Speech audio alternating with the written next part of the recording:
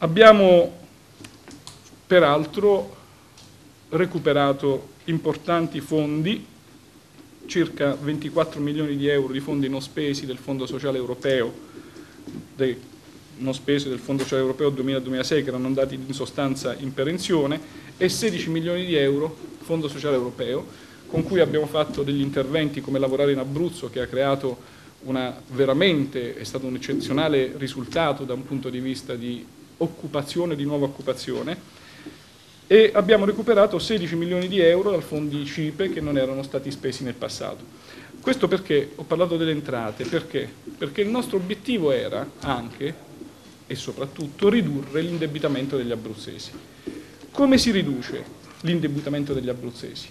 Due erano le strade, o aumentare le entrate e quindi aumentare le tasse, oppure ridurre la spesa pubblica. Non c'è altro verso. Quando c'è un debito, questo debito o lo si ripiana avendo maggiori entrate che prima non avevi, oppure eh, riducendo le spese. E noi abbiamo ridotto le spese fortemente, ma abbiamo anche avuto qualche fondo in più grazie all'azione di recupero che è stata portata avanti.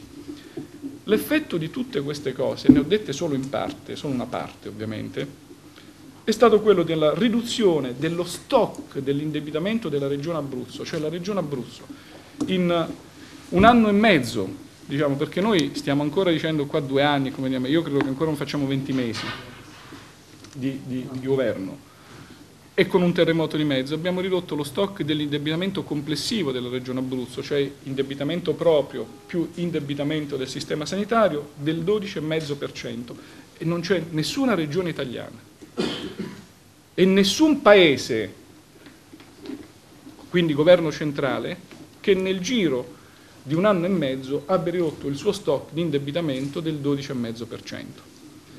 Abbiamo ridotto il costo dell'indebitamento, cioè il costo che gli abruzzesi devono pagare per mantenere questo indebitamento del 16%, facilitati certamente dalla riduzione dei tassi internazionali, ma soprattutto per il fatto che per la prima volta, anche questo devo dire, c'è un governo che in 20 mesi non assume un, un ulteriore indebitamento. Cioè nel passato era difficile trovare eh, situazioni che venivano diciamo, lasciate eh, tanto migliori delle precedenti. Il disavanzo della sanità l'abbiamo ridotto a valori antecedenti al 2000, il disavanzo annuale della sanità. Abbiamo fatto una fortissima riduzione dei tetti di spesa della sanità privata, oggi ci accusano di essere... E insomma, tutte queste cose, e non solo queste cose, hanno determinato quello che è la ragione oggi della conferenza stampa. Cioè l'agenzia di rating Moody's ha migliorato quello che è il rating della regione Abruzzo. Rating della regione Abruzzo che aveva avuto delle, diciamo così, delle, eh,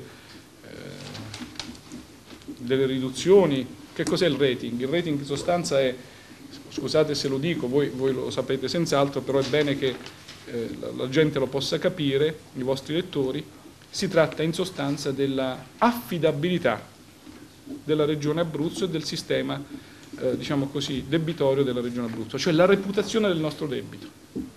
Quanto siamo in grado di garantire un, eh, la possibilità di rimborso di questo debito nel medio-lungo termine, soprattutto nel lungo termine, e questo devo dire che hanno l'outlook, cioè per, è stato passato da prospettive negative a prospettive stabili. Naturalmente se non ci fossero stati forse i 101 milioni di euro che sono stati scoperti qualche tempo fa, come voi sapete, io diedi notizia, probabilmente avremmo anche potuto avere qualcosa in, in più. Però io credo che questo sia un'inversione di tendenza importante, soprattutto in un momento in cui le agenzie di rating pro procedono sistematicamente, sia per i governi centrali che per i governi regionali, alla, diciamo così, alla alla riduzione del rating, alla diminuzione del rating. Cioè anche questa è una cosa in controtendenza della Regione Abruzzo. Ecco, io adesso vorrei passare la parola all'assessore Masci che vi dirà le ragioni per cui qual è il giudizio di Moody's per quanto riguarda la gestione delle finanze abruzzesi, che non sono le gestioni della finanza della regione, sono le finanze degli abruzzesi, cioè sono i soldi degli abruzzesi e il debito degli abruzzesi, questo che si deve capire. Una precisazione, i fondi del terremoto non c'entrano niente con la Ovviamente. regione perché se no uno potrebbe dire, cioè i fondi del terremoto vengono gestiti dalla struttura governativa, cioè dal governo, che sarei come rappresentante, eh, come commissario, sono io, ma non, va, non passa attraverso il bilancio della regione, bensì attraverso il bilancio del, del, del governo, dello Stato.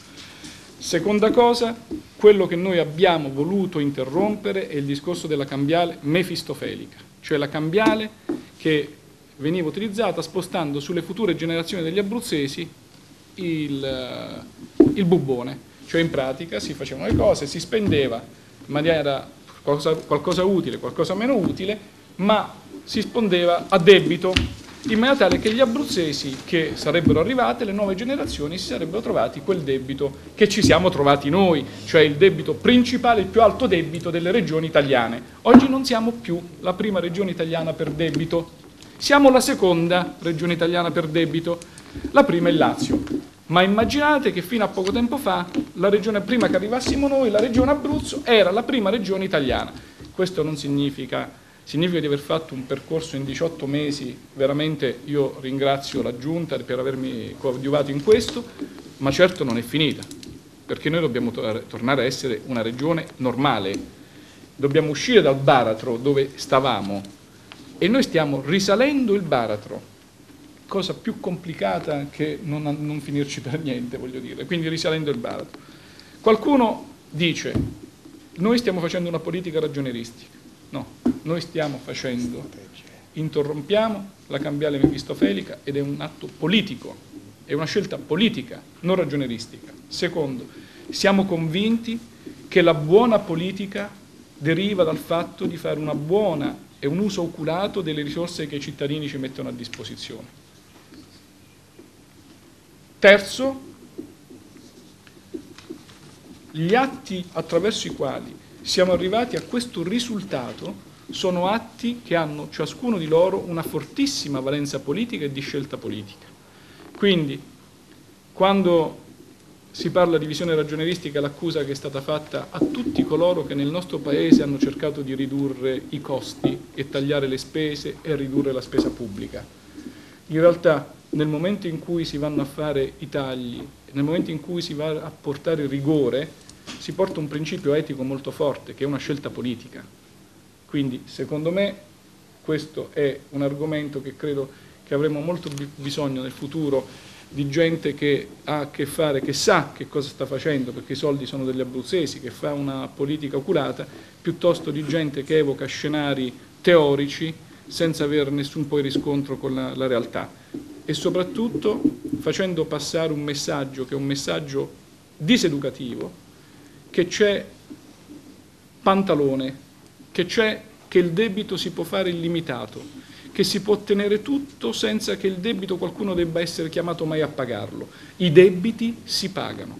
In Abruzzo ne sono stati fatti tanti, noi siamo quelli che li stiamo cercando di pagare in maniera tale che quando andremo via, prima o poi accadrà, non è che lo spieghiamo, però prima o poi accadrà, chi arriverà dopo di noi troverà una situazione molto ma molto migliore di quella che abbiamo trovato noi. E poi crediamo di fare una buona cosa per le future generazioni di abruzzesi, cioè per i nostri figli. C'è chi governa guardando all'oggi ed è il burocrate e chi governa invece guardando da qui a 5, 6, 7, 10, 15 anni che fa politica.